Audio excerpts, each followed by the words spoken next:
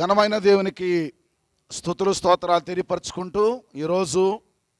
మరి రాజనగరం రీజనల్లో ఉన్నటువంటి జిల్లా నాయకులు అధినేతలు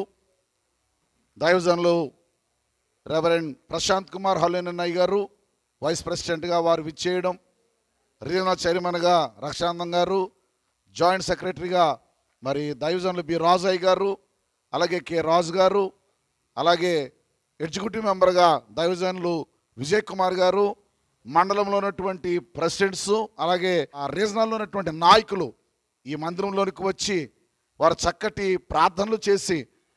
ప్రాముఖ్యంగా మా తల్లిగారి పట్ల వారు చూపిన ప్రేమను బట్టి ప్రార్థించిన ఆ ప్రార్థన విధానాన్ని బట్టి వారు మమ్మల్ని గౌరవించిన విధానాన్ని బట్టి దేవుని కనపరుస్తూ మా సంఘాల తరపున పరిచయాల తరపున వారి కుటుంబాలకు వారికి నా హృదయపూర్వక వందన తెలియపరుస్తూ తూర్పుగోదావరి జిల్లాలో ఉన్నటువంటి నాయకత్వాన్ని దేవదేవుడు దీవించాలని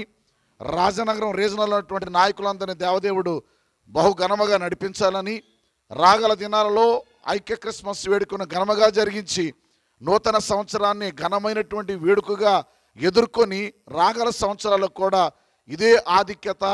ఇదే ఐక్యత ఇదే ఘనతను దేవదేవుడు ఇవ్వాలని కోరుకుంటూ ఈ మాటలు ముగిస్తున్నాను. వచ్చిన వారందరికీ కూడా ప్రత్యేకమైన వందనాలు తెలియపరుస్తున్నాను.